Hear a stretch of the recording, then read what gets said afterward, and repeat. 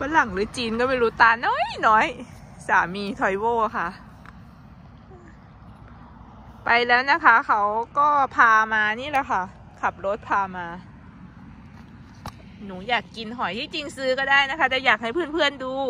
อยากให้เพื่อนๆเห็นบรรยากาศว่ามันมีเยอะมาก